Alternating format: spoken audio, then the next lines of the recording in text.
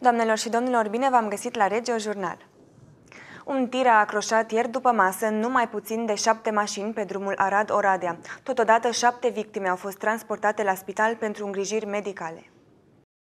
Primul autoturism a fost acroșat de tir chiar la intrarea în localitatea Andrei Șaguna. Câțiva metri mai încolo, autotrenul a lovit alte trei mașini, iar apoi restul de până la șapte. N-am reușit să văd decât în oglinda retrovizoare că se apropie un camion. Am accelerat sperând să-i creez spațiu suficient să frâneze, a spus unul dintre șoferii implicați în accident. Un altul a povestit. Mergeam în coloană cu 50 de km pe oră și dintr-o dată am văzut că mașina din spate a fost lovită și proiectată în șanț. Pe mine m-a lovit din spate. Tirul a ajuns în afara părții carosabile, răsturnat pe liniile de cale ferată. Traficul feroviar a fost blocat până la ridicarea autotrenului de pe linii de către o macara de tonaj mare, potrivit bihon.ro. La fața locului au fost trimise trei autospeciale smurd și o autospecială de stingere și descarcerare. Paramedicii smurd au preluat șapte victime, două care au suferit atacuri de panică și cinci care aveau diverse răni. Toate victimele erau conștiente și stabile stabile. Pompierii au deconectat bornele bateriei tirului și au dat cu jet de apă pentru a răci rezervorul care s-a spart și din care curgea combustibil. Unul dintre șoferii loviți de autotren a precizat că șoferul tirului nu a oprit, nu a schițat nimic și asta pentru că, din nefericire, conducătorul tirului, un cetățean polonez în vârstă de 48 de ani, a suferit un atac cerebral. Bărbatul a fost transportat la spital pentru îngrijiri medicale.